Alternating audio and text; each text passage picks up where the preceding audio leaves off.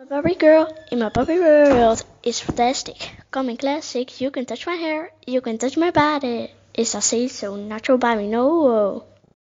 Dagboek Emma Pubermeisje, hoofdstuk 1. Emma komt op school en ze heeft heel leuk nieuws gehoord. En dat nieuws vrolijkt haar heel erg op. En haar dag wordt ook steeds beter. En dan gaan ze de school in. En je weet niet wat je zag. Het was zo mooi opgeknapt, maar toen zag Emma iemand. Die iemand is niet een leuk iemand. Angelina is teruggekomen, roep ik. En ik schaamde mij omdat ik heel hard geschreeuwd heb. En iedereen keek naar mij. Ik was zo niet blij. Ze was maar een week weg.